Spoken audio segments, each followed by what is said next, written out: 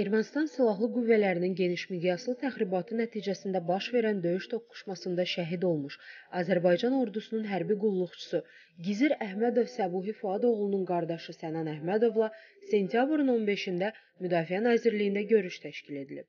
Bu barədə Axar-Aza Müdafiə Nazirliyindən bildirilib.